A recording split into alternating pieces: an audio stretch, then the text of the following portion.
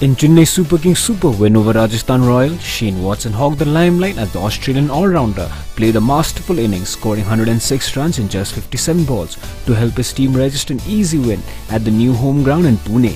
But for Chennai Super Kings, there was only one man who deserved their attention and love and that's their Thala MS Dhoni. CSK captain MS Dhoni couldn't contribute much with the bat in the game but the fan cared less. When Dhoni came to bat after the fall of Suresh Raina, Fan breached the security barrier and entered to feet to touch Dhoni's feet.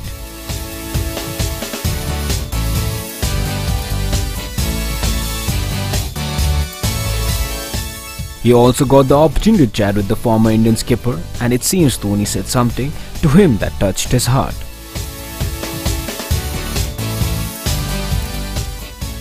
News Desk